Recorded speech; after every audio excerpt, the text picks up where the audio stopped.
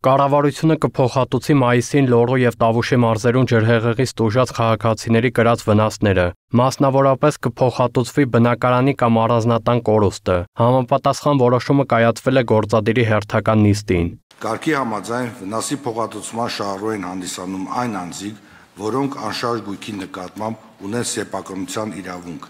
չենք պահանջում սեփականության իրավունքի պետական գրանցում, քանի որ տվյալ անձիկ անշարժ գույքի կարող են ձեռք բերած լինել օրենքով, դատարանի վճռով, գործարքով, որպես ժառանգություն կամ ցանկացած այլ օրինական եղանակով։ Փոխհատուցման ենթակա վնասների տեսակները բազմաբնակարան շենքի բնակարանին կամ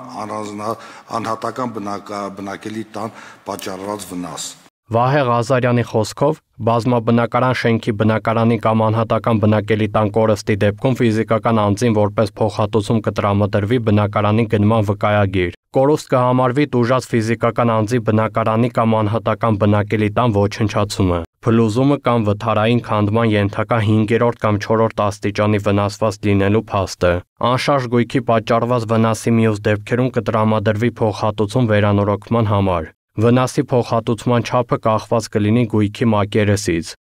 Առավել տուժած բնակավայրերում 60000, իսկ մյուս բնակավայրերում 40000 հ դրամի չափով։ Կսանվավի մակերեսի առավելագույն չափ 80 քառակուսի մետր, Առանձնատների դեպքում առաջին հարկում կարող են լինել օժանդակ մեծ մակերեսներ, որոնք գրանցված են որպես բնակելի։ Ավելի բարդ մեխանիզմներ չդեմելու համար որոշվել է սահմանափակել հատուցման ենթակա մակերեսների չափը։ Առաջնային կենցաղային գույքի գնման համար յուրաքանչյուր բնակարանի հաշվով կտրամադրվի 1 միլիոն 200 հազար դրամ, անշարժ գույքի կորստի դեպքում կամ առավել տուժած բնակավայրերում, իսկ 800 հազար դրամ կտրամադրվի մյուս բնակավայրերում։ Բոլոր դեպքերում աջակցությունը կփոխանցվի շահառուների բանկային հաշվին։ Աջակցության առնվազն 60%-ը կօգտագործվի անկախնիկ եղանակով, քարտի վճարումը կհամարվի անկախնիկ վճարում։ Մյուս 40%-ը կարող է կանխիկացվել եւ այդպես օգտագործվել։ Վարչապետն էլ արձագանքելով ներքին գործերի նախարարի զեկույցին, հետաքրքրվել է թե ինչ արժեքի սահմանում բնակարան կարող են ձեռք բերել այն քաղաքացիները, որոնց բնակարաններն աղետի պատճառով ավերվել են։ Նիկոլ Փաշինյանին պատասխանել է փոխվարչապետ Տիգրան Խաչատրյանը։ Կադաստրի կոմիտեն տալիս է թե տվյալ բնակավայրում վերջին շրջանի անշարժույթի գծով գործարքների արժեքը որքան է եղել եւ 1 քառակուսի մետրի հաշվով միջնացված արժեքը հիմք է ընդունվում բնակարանի գնման վկայագրի 1 քառակուսի համար Գործադիրի ղեկավարը նաև հետաքրքրվել է, թե քանի նման դեպք կա, երբ բնակարանը կամ առանձնատունն ամբողջությամբ ավերվել են։ Մենք մեկ շենք բազմաբնակարան, որը Ալավերդի քաղաքում է, բաղկացած 16 բնակարաններից, Իրականում այս 16 բնակարաններից պարոն վարչապետ միայն 6 բնակարանն են, որ գտնվել են առաջին հարկում եւ ջրհեղեղից տուժել են, բայց քանի որ շենքը ամբողջությամբ դարձել է վնասվածության այն աստիճանի, որ պետք է քանդվի, նաեւ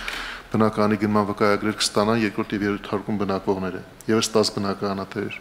եւ առանձնատների քանակը ճշտում ենք կխնդրեմ որ պարոն Սանոսյանը ասի, բայց երկու այդպեսի առանձնատուն է մեզ հայտնի, մեկը Հաղարծնում, մեկը Ձորագետում։ Դիմումներն ընդունվելու են հուլիսի 15-ից մինչև սեպտեմբերի 30-ը։ Հեղեղումների հետևանքով մահացած 4 անձանց ընտանիքները եւս փոխհատուցում կստանան։ Աշխատանքի եւ սոցիալական հարցերի փոխնախարար Աննա Ժամակոչյանը տեղեկացրել է, որ մահացածների ընտանիքներին կտրամադրվի 1 միլիոնական դրամ։ Եթե ընտանիքը գտնվում է ապրում է աղետի գոտում, այդ 1 միլիոն դրամը կգումարվի նախկինին, եթե աղետի գոտում չի բնակվում, անկախ ուղիղ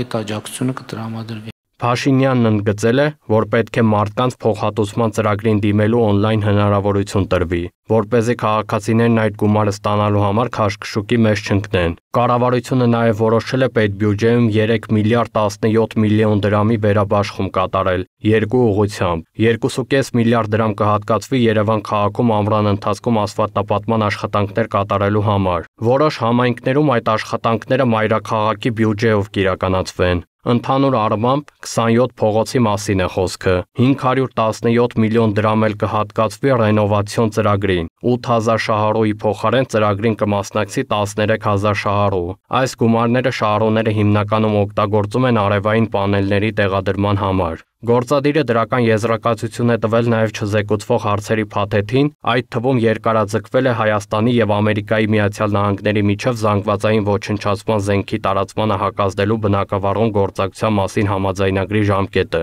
Տվյալ համաձայնագրով ԱՄՆ-ի կառավարությունը պարտավորվում է Հայաստանի կառավարությանը վերջինիս հայտերի հիման վրա անհատույց տրամադրել զանգվածային ոչնչացման զենքի տարածումը կանխարգելող սարքավորումներ, նյութեր, տեխնոլոգիաներ, իրականացնել անձնակազմի ուսուցում եւ այլն։ Կառավարության որոշման նախագծում նշվում է, որ համաձայնագրով Հայաստանի կառավարությունը պարտավորվում է նախատեսվող գործողություններն իրականացնելու նպատակով հեշտացնել Հայաստանի տարած ԱՄՆ-ի կառավարության համապատասխան ներկայացուցիչների մուտքն ու ելքը։ Նաև սահմանվում է նախատեսվող միջոցների փոխադրման կարգն ու պայմանները։ Նարեկ Արոշանյան, Free News, Ազատ լուրեր։